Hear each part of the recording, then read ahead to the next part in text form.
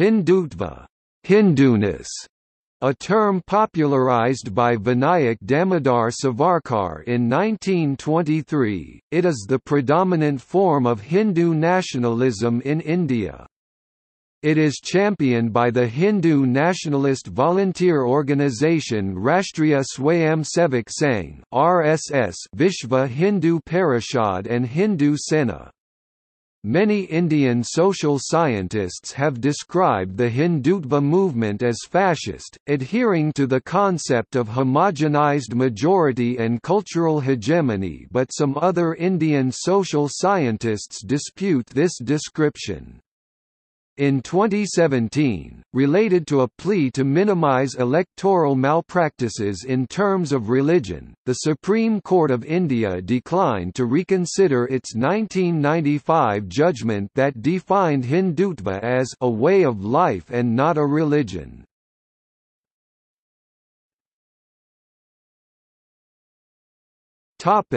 Definition According to the Oxford English Dictionary, originally Hindutva is the state or quality of being Hindu, Hinduness. In later use, it defines Hindutva as an ideology seeking to establish the hegemony of Hindus and the Hindu way of life.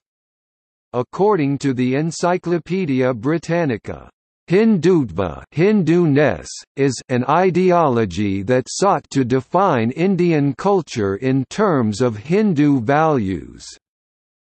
In a 1995 judgment, the Supreme Court of India ruled that Ordinarily, Hindutva is understood as a way of life or a state of mind and is not to be equated with or understood as religious Hindu fundamentalism. It is a fallacy and an error of law to proceed on the assumption that the use of words Hindutva or Hinduism per se depicts an attitude hostile to all persons practicing any religion other than the Hindu religion. It may well be that these words are used in a speech to promote secularism or to emphasize the way of life of the Indian people and the Indian culture or ethos, or to criticize the policy of any political party as discriminatory or intolerant. According to Vinayak Damodar Savarkar, Hindutva is an inclusive term of everything Indic. He said, Hindutva is not a word but a history. Not only the spiritual or religious history of our people as at times it is mistaken to be by being confounded with the other cognate term Hinduism, but a history in full.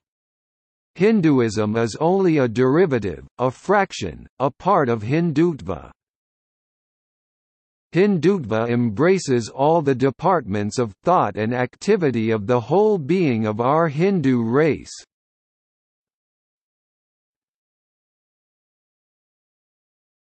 Topic: Historical usage.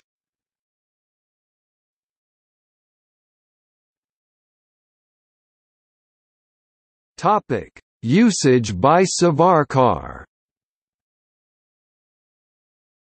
Vinayak Damodar Savarkar, an Indian independence activist, in his book Essentials of Hindutva, better known under the later title Hindutva, who is a Hindu, defined a Hindu as one who was born of Hindu parents and regarded India as his motherland as well as holy land.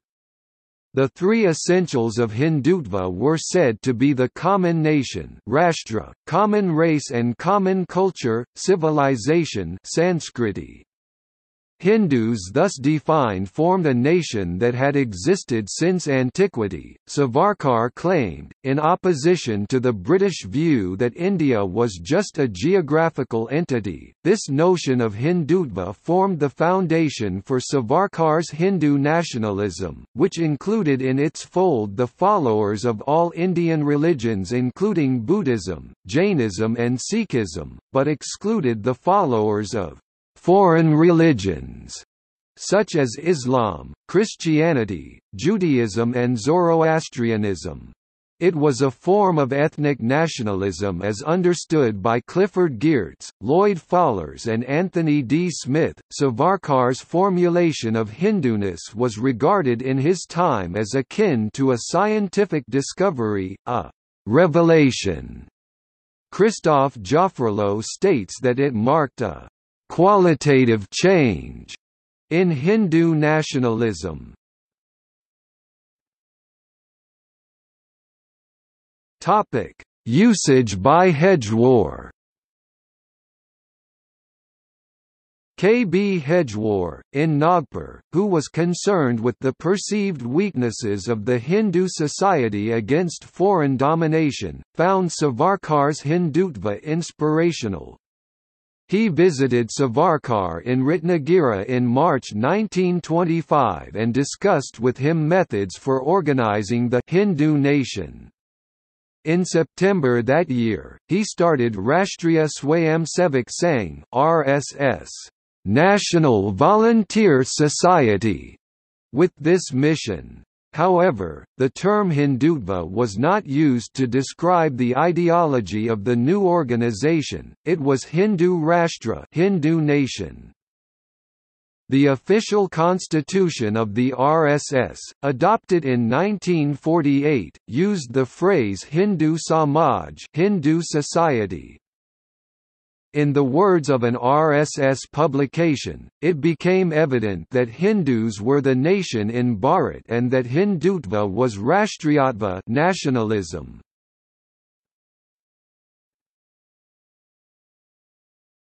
Topic Usage by Syama Prasad Mukherjee Both the terms, Hindutva and Hindu Rashtra were used liberally in the Akhil Bharatiya Hindu Mahasabha, a party Savarkar became the president of in 1937. Syama Prasad Mukherjee, who served as its president in 1944 and joined the Jawaharlal Nehru cabinet after independence, was a Hindu traditionalist politician who wanted to uphold Hindu values but not necessarily to the exclusion of other communities. He asked for the membership of Hindu Mahasabha to be thrown open to all communities. When this was not accepted, he resigned from the party and founded a new political party in collaboration with the RSS.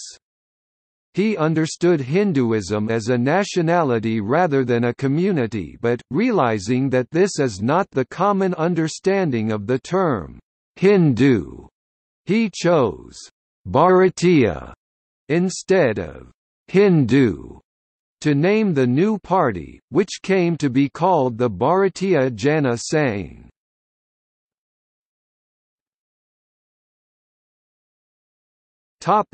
Vishva Hindu Parishad and Bharatiya Janata Party The RSS established a number of affiliate organizations after Indian independence to carry its ideology to various parts of the society. Prominent among them is the Vishva Hindu Parishad, which was set up in 1964 with the objective of protecting and promoting the Hindu religion. It subscribed to Hindutva ideology, which came to mean in its hands political Hinduism and Hindu militancy. A number of political developments in the 1980s, such as the militant Khalistan movement, the influx of undocumented Bangladeshi immigration into Assam, Muslim mobilization in the Shah Bano case, as well as the Satanic Verses controversy, caused a sense of vulnerability among the Hindus in India. The VHP and the BJP utilized this sense of vulnerability to push forward a militant Hindutva nationalist agenda leading to the Ram Janmabhoomi movement.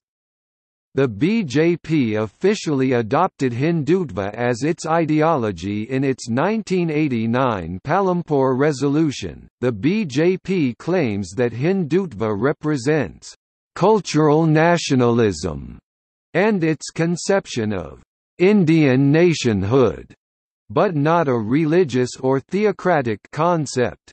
It is India's identity, according to the RSS chief Mohan Bhagwat. However, in today's terminology, Hindu firmly refers to the Hindu religion, not to an Indian nationality. Scholars believe that culture nationalism is just a euphemism meant to mask the creation of a state with a Hindu religious identity.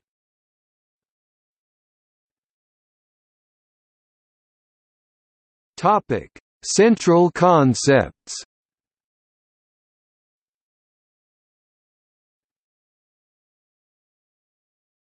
Topic: Cultural nationalism. According to this, the natives of India share a common culture, history and ancestry.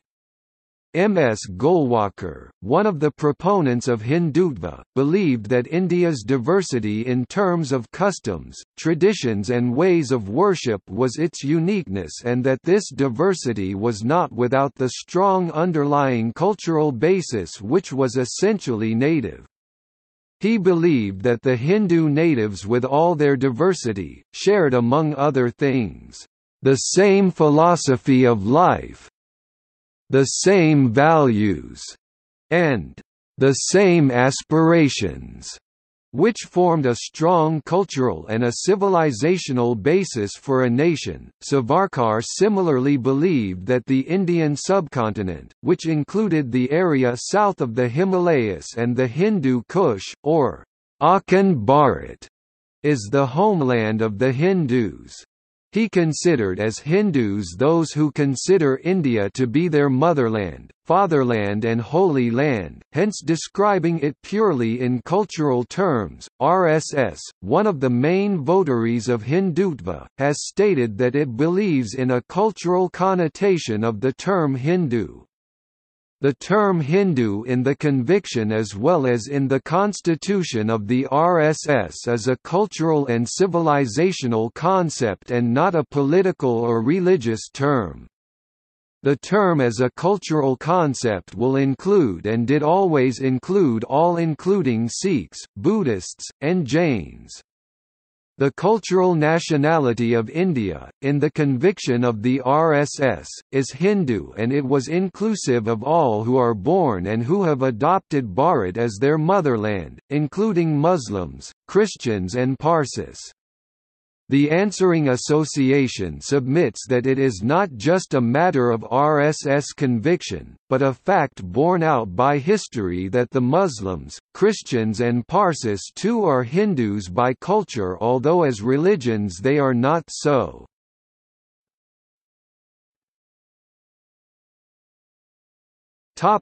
Uniform Civil Code Leaders subscribing to Hindutva have demanded a uniform civil code for all the citizens of India. They believe that differential laws based on religion violate Article 44 of the Indian Constitution and have sowed the seeds of divisiveness between different religious communities. The advocates of Hindutva use the phrase pseudo-secularism to refer to policies which they believe are unduly favorable towards the Muslims and Christians. The subject of a uniform civil code, which would remove special religion-based provisions for different religions Hindus, Muslims, Christians, etc. from the Constitution of India, is thus one of the main agendas of Hindutva organizations.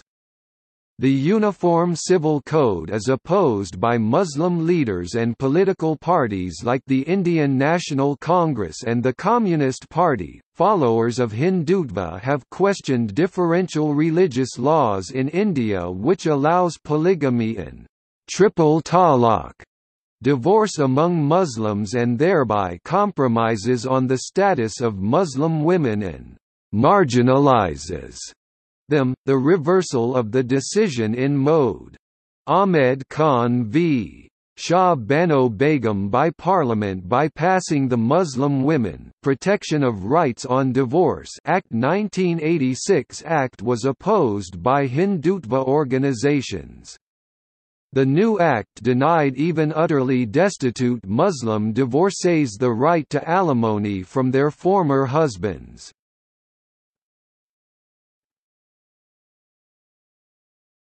Topic: Protection of Hindu interests The followers of Hindutva are known for their criticism of the Indian government as too passive with regard to the ethnic cleansing of Kashmiri Hindus by Kashmiri Muslim separatists and the 1998 Wandhama massacre, and advocates of Hindutva wish a harder stance in Jammu and Kashmir. The supporters of Hindutva sought to protect the native Hindu culture and traditions, especially those that symbolized the Hindu culture. They believe that Indian culture is identical with the Hindu culture. These include animals, language, holy structures, rivers, and medicine. They opposed the continuation of Urdu being used as a vernacular language as they associated it with Muslims. They felt that Urdu symbolized a foreign culture. For them, Hindi alone was the unifying factor for all the diverse forces in the country. It even wanted to make Hindi as the official language of India and felt that it should be promoted at the expense of English and the other regional languages. However, this caused a state of tension and alarm in the non-Hindi regions. The non-Hindi region saw it as an attempt by the North to dominate the rest of the country. Eventually, this demand was put down in order to protect the cultural diversity of the country. To hundreds of millions of Hindus, in India and around the world, the Ganges is not just a river but also a goddess, Ganga, who was brought down to earth from her home in the Milky Way by Lord Shiva, flowing through his dreadlocks to break the force of her fall. However, due to the increased flow of industrial waste, untreated sewage and the reduced natural flow of the river has led to the water pollution of this holy river. Several projects have been initiated in order to clean Ganga. Attempts have been made to revive and promote Hindu science, particularly in the fields of indigenous medicine, especially Ayurveda. This revivalist movement in medicine was predominantly a result to the emergence of Hindu nationalism in the 1890s.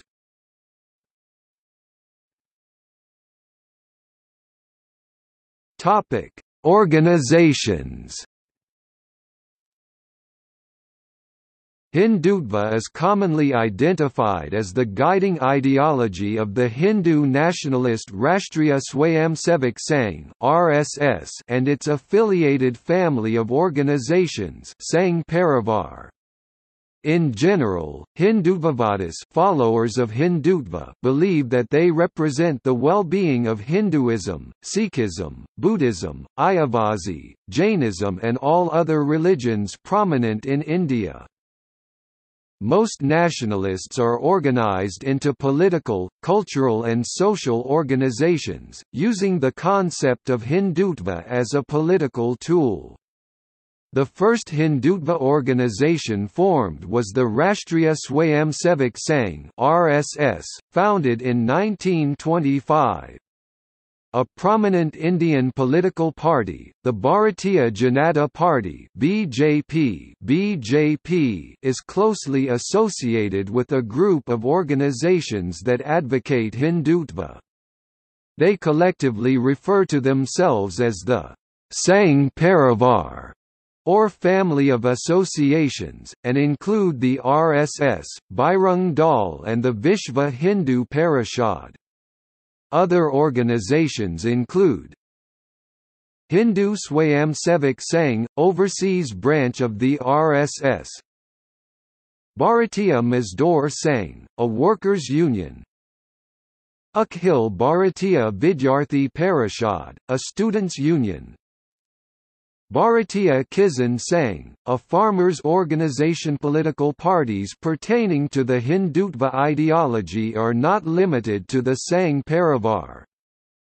Examples of political parties independent from the Sangh's influence but espouse the Hindutva ideology include Praful Goradia's Akhil Bharatiya Jana Sangh, Subramanian Swami's Janata Party and the Marathi nationalist Shiv Sena. The Shiromani Akali Dal is a Sikh religious party, but maintains ties with Hindutva organizations, as they also represent Sikhism.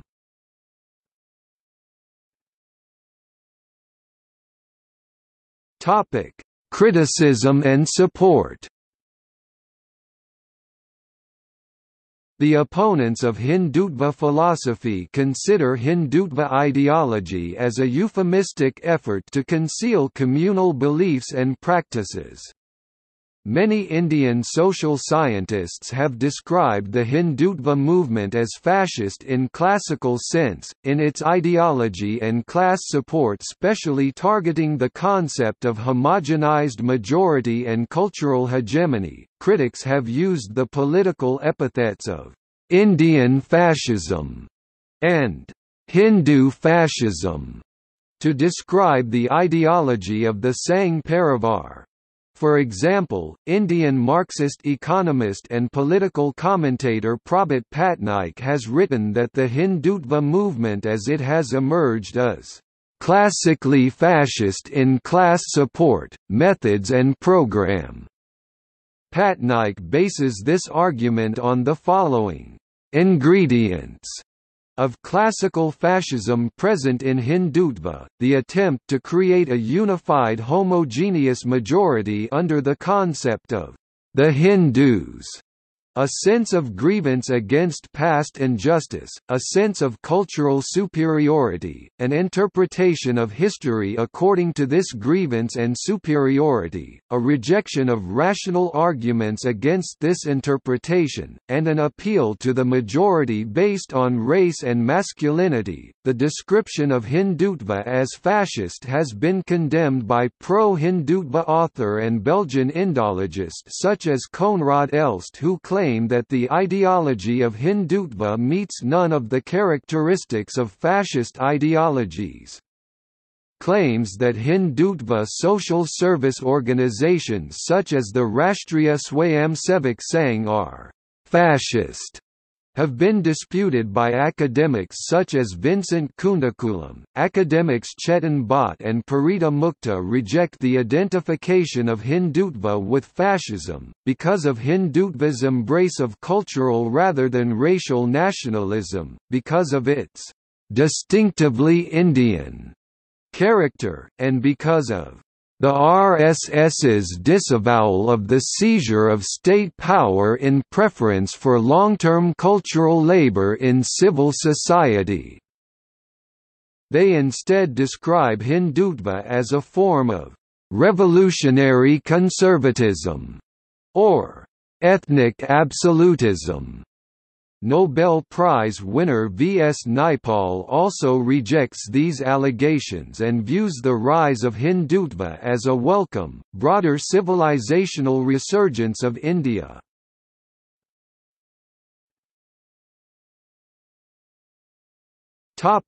See also Communalism South Asia Hindu nationalist parties Indian nationalism